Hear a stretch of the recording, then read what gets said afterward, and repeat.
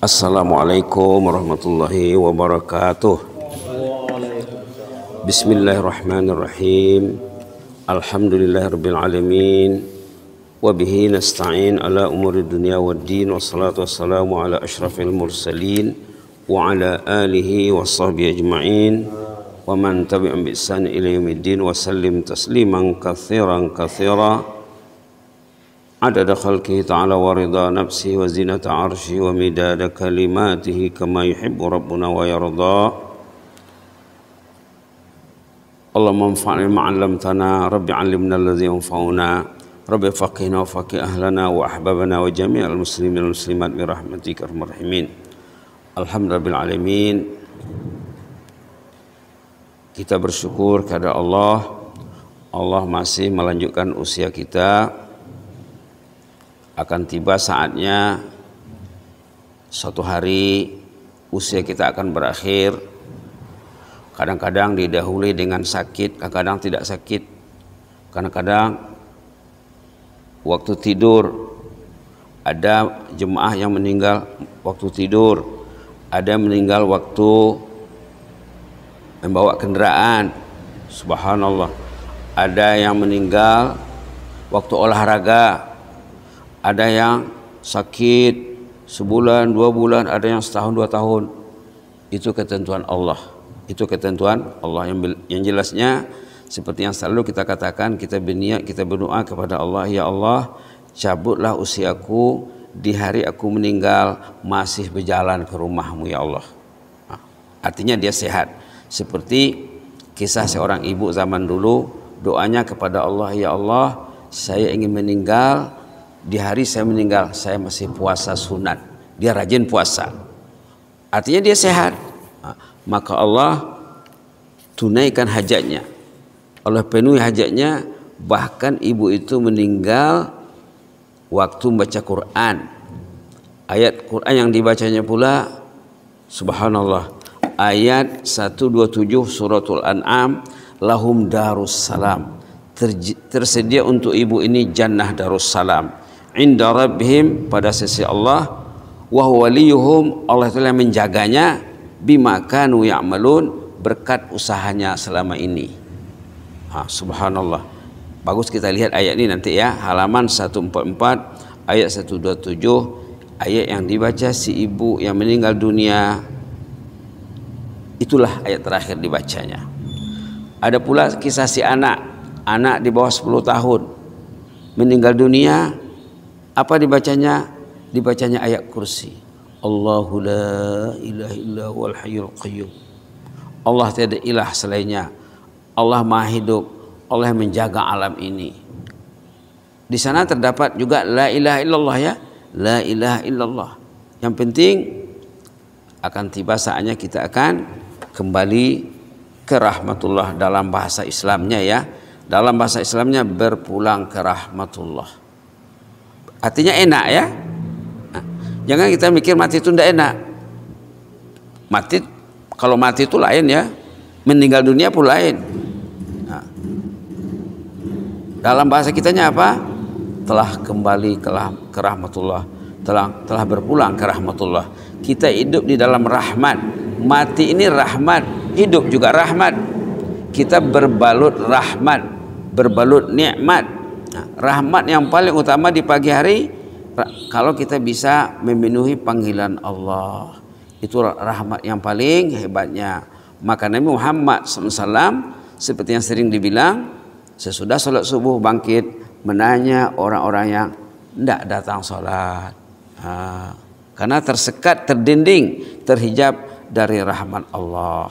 Baiklah ya. Tadi kita bersama surah At-Tariq Was-sama'i wat-tariq. At-tariq ini 17 ayat. Rakaat pertama tadi surah At-tariq 17 ayat. Rakaat kedua surah Al-Alaq yaitu Iqra bismi rabbikal ladzi khalaq khalaqal insana min alaq.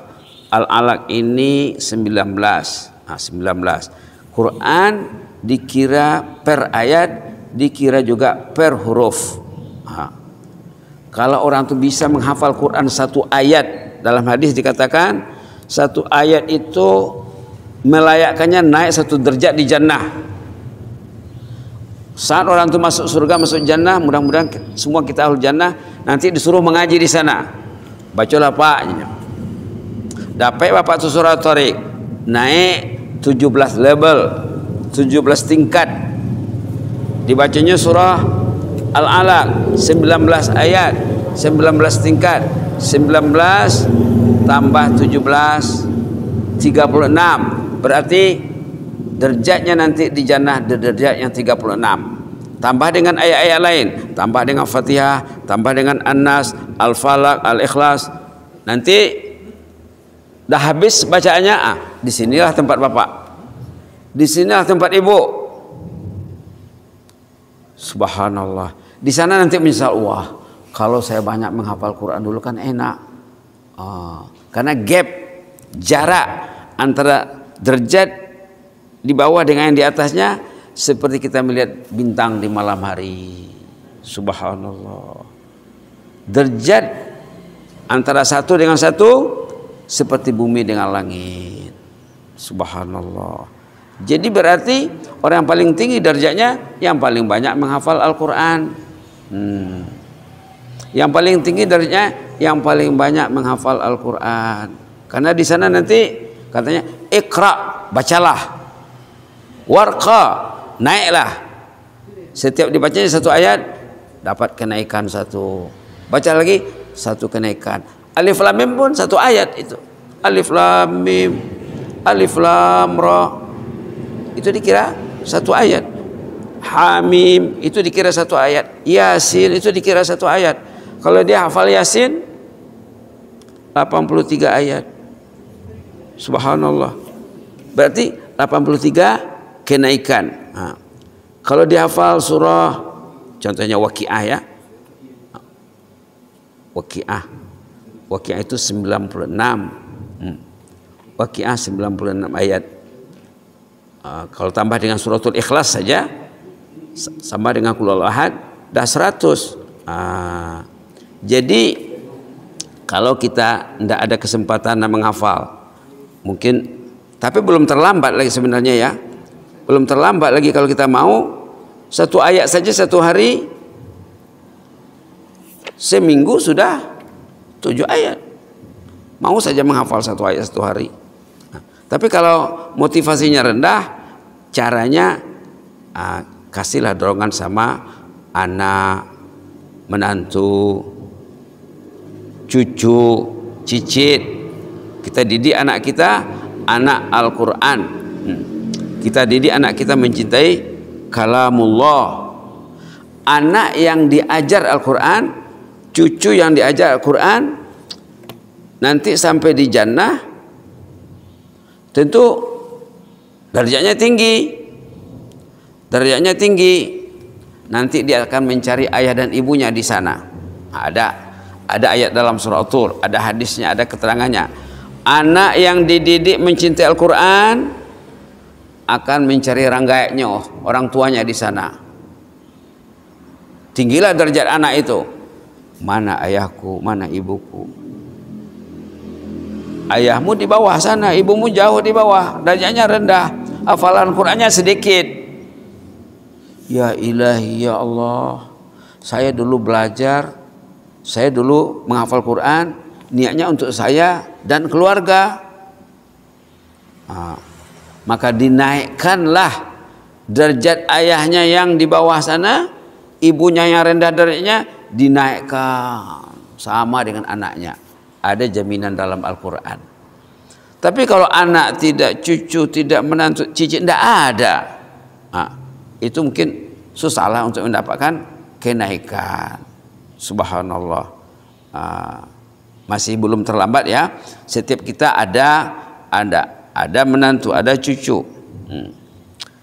Ada cerita uh, ibu yang baru uh, barale, baru pesta untuk anaknya lelaki. Cerita ini eh, cantik sekali, enak sekali ya. Si lelaki ini mencari jodoh bakal istrinya serah sama ibunya. Anak sekarang susahnya dia sendiri yang cari. Itu susah tuh ya dia sendiri yang cari apalagi apalagi kalau tidak ada Quran di dadanya Yang dicarinya bukan orang yang hafal Quran. Si lelaki ini, si anak lelaki ini mencari jodoh serahkan sama ibunya. Ibu pun cari anak-anak putri-putri solehah. Terjumpalah seorang anak itu. Ibunya berkenan. Pendek kata, diadakanlah pertemuan antara bakal pengantin. Bertanyalah si perempuan kepada si lelaki. Abang anda berapa hafal Quran katanya. Quran ditanyanya. Bukan S1, S2, S3 bukan kebun, bukan mobil, bukan rumah. Quran ditanyanya. Subhanallah. Berapa abang hafal Quran? Oh saya dapat surah-surah pendek saja. Adinda macam mana? Saya Alhamdulillah juz 30 ada di dada saya. Amai tasa'alun sampai akhir. Tapi saya berniat nak hafal Quran kata si lelaki ini. Saya berhasrat ingin hafal Quran. Ah, kalau begitu baiklah kata bakal istrinya. Pendek katanya mereka melangsungkan perkawinan. Subhanallah. Sebaik saja sudah resmi pasangan ini menjadi pasangan yang sah kata si istri abang suami saya abang wajib membela mengajar membimbing istri ayo ajar saya menghafal Quran Ah, itu tuntutan pertamanya, mari kita menghafal Quran. Mereka mulai daripada surah Maryam. Bismillahirrahmanirrahim. Kaf ya sad. Zikru rahmati rabbika abdahu Zakaria. إذ نادى ربه نداء خفيا sampai akhir. Kemudian sambung dengan surah Yusuf. Sesudah surah Maryam, surah yang banyak cerita yang indah di dalam. Surah Yusuf banyak cerita yang indah di dalam. Kemudian baru surah yang lain. Dua tahun mereka bekerja keras menghafal Quran, hafal 30 juz. Suami istri, pengantin baru. Pengantin baru yang hati Al-Quran. Oh. Sesudah hafal Al-Quran, si si suami pergi melapor ke rumah mertuanya, bapak istrinya, pak pak, alhamdulillah kami berdua sudah hafal Quran. Apa kata si ayah, ayah istrinya, istrimu itu belum kawin sudah hafal Quran. Ah, wah iya, ini ya, ini ijazah penghargaan yang dia pemenang lomba penghafal Al-Quran. Dia pulang ke rumahnya, eh Adinda selama ini berlakon seperti murid. Macam belum hafal Quran, rupanya sudah hafal ya. Iya katanya, kalau saya bilang saya hafal Quran dari awal, saya ajak abang menghafal Quran, motivasi abang rendah. Maka abang saya angkat jadi guru, saya murid. Ah, begitu orang mencari jodoh, begitu orang mencari jannah. Mudah-mudahan bermanfaat ya motivasi bagi kita semua. Jazakumullahu barakallahu fikum. Inni uhibbukum fillah. Allahumma zidna wa la tanqusna wa akrimna wa la tuhinna وأعطنا ولا تحرمنا وآثرنا ولا تؤثر علينا وأرضنا وارضعنا يحييكم برحمتك نستغيث. يحييكم برحمتك نستغيث. أصلح لنا شأننا كله ولا تكلنا إلى أنفسنا طرفة عين. سبحان ربك رب العزة عما يصفون وسلام على المرسلين. والحمد لله العالمين. والسلام عليكم ورحمة الله وبركاته.